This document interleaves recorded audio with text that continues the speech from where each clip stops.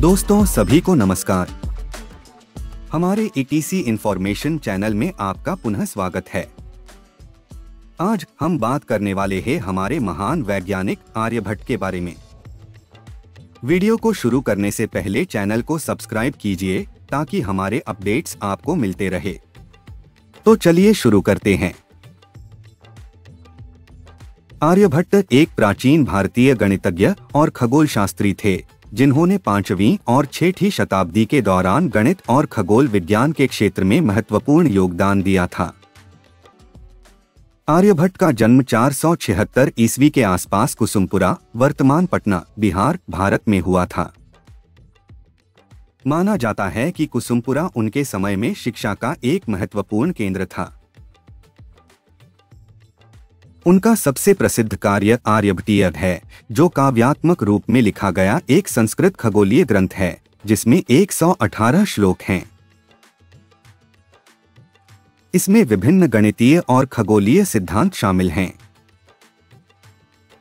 आर्यभट्ट से पहले के भारतीय गणित में अक्सर शब्द अंकों का उपयोग करते हैं, लेकिन आर्यभटीय देवनागरी अंकों के साथ सबसे पुराना मौजूदा भारतीय कार्य है।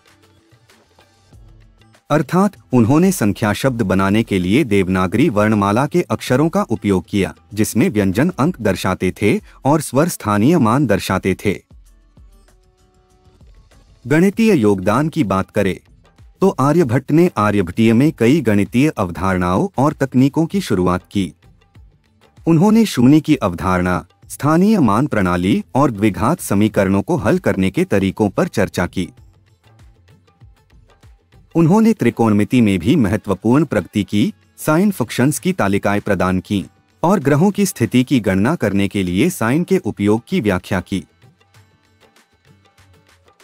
हमारे आर्यभट्ट के खगोलीय योगदान भी लाजवाब है। आर्यभट्ट ने सौर मंडल का एक हेलियोसेंट्रिक मॉडल प्रस्तावित किया, जहाँ उन्होंने अपने समय के प्रचलित भूकेंद्रिक मॉडल को चुनौती देते हुए कहा कि पृथ्वी अपनी धुरी पर घूमती है और सूर्य की परिक्रमा करती है।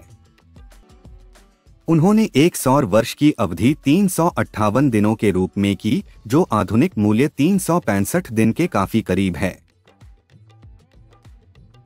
माना जाता है कि आर्यभट्टीय के अलावा आर्यभट्ट ने आर्य सिद्धांत नामक एक और रचना लिखी थी।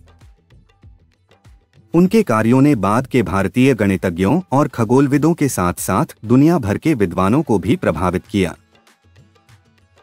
भारत में गणित और खगोल विज्ञान के विकास में आर्यभट्ट का योगदान मूलभूत था। उनके तरीकों और सिद्धांतों ने बाद के विद्वानों के लिए आगे विस्तार करने के लिए आधार तैयार किया और उनकी विरासत को भारत और दुनिया भर में मनाया जाता है। ऐतिहासिक संदर्भ की बात करें तो आर्यभट्ट ऐसे समय में थे जब भारत बौद्धिक और वैज्ञानिक प्रगति का केंद्र था।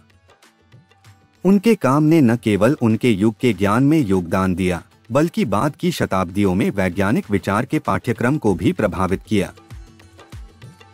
तो ये थे हमारे आर्यभट्ट मुझे आशा है आपको ये वीडियो अच्छा लगा होगा।